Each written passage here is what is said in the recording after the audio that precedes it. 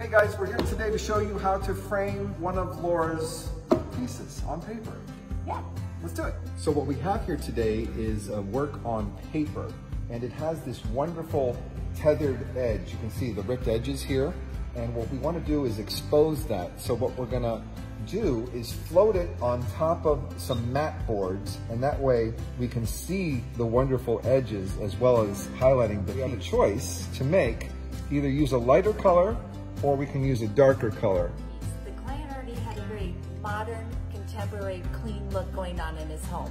So he thought that the black matting with the black framing would work well with what he already had hanging we have a decision to make as to how much mat board we want to see exposed. To have a very contemporary look, sometimes a lot of mat board, about three inches or so, will really give the whole piece a very floating look. Now all that's left is the technicians, us, to put the whole piece together, and then you get to take it home and hang it.